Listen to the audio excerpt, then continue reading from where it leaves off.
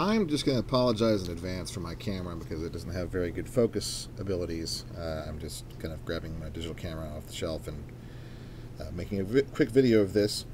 Uh, this is a $1 pedometer from the Dollar Tree, which I have hacked into something resembling just a simple counter, uh, with the hopes of creating a very cheap pickup winding counter uh, out of this $1 uh, brand new piece of equipment.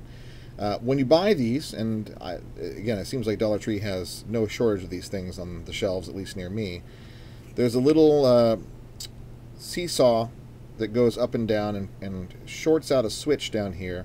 It's all removable just by removing these four screws, pulling the back off, and just tossing those guts. You don't need them at all for the pedometer.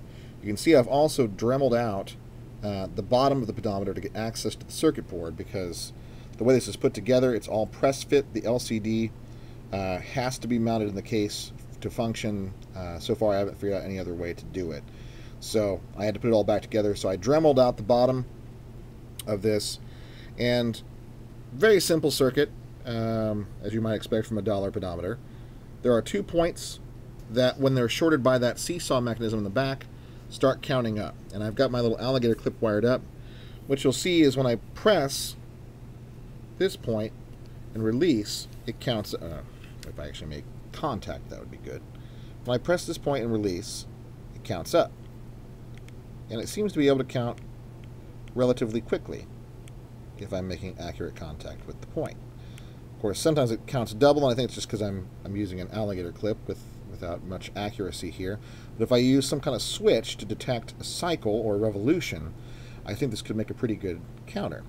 So this is one possibility uh, for a pickup winding counter. I'm going to be experimenting with this when I start working on my own machine here because uh, I want to start getting into winding at some point in the near future. Um, anyway, so that's just kind of neat. It's one dollar plus tax. Uh, kind of fun to dremel out this plastic here. Uh, it does auto timeout. The only thing you need to do is in, avoid this button. That's just the reset switch. It resets the entire count, if you press it, I meant to show you when you press the button, sorry. Uh, it does reset the counter, but if you just make, again, contact from those two points, if it's in sleep mode, it wakes up and remembers what, uh, what count you had before the wake-up point. So, like I said, this looks like a nice, cheap, very, very easy possibility. About five minutes with a screwdriver and two minutes with a Dremel, and you've got a possible uh, pickup winder count device to use with whatever switch you have around on your winder. So anyway,